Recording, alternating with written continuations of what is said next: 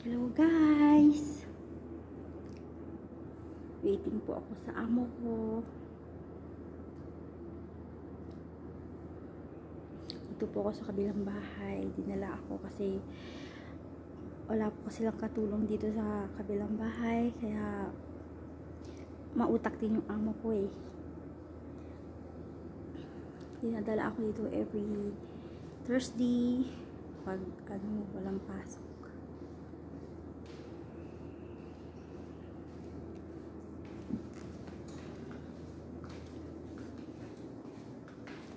Ito yung bahay na lilinisan ko.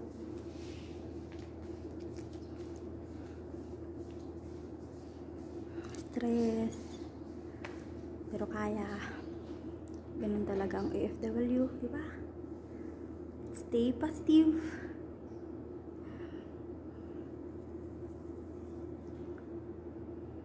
Hihintay ko na lang yung amo ko dumating. Tapos ko lang yung trabaho dito. Kahit pagod, happy-happy lang.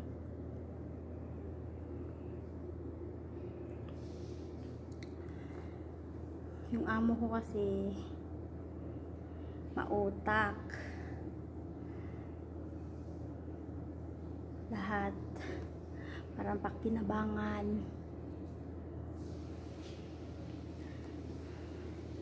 Yung trabaho sa bahay hindi na, hindi na natapos.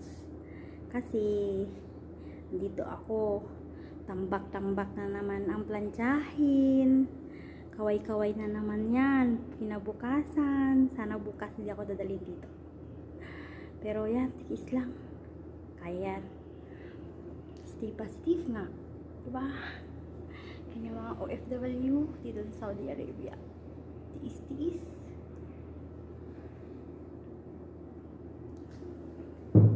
guys ang bahay nilinisan ko.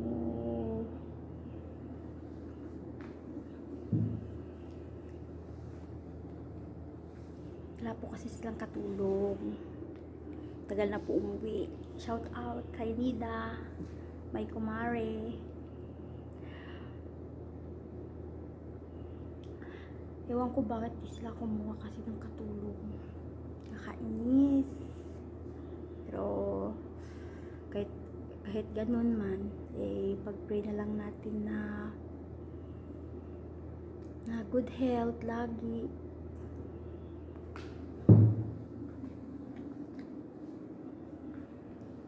So thank you. Huwag niyo pong kalimutan subscribe and click the button bell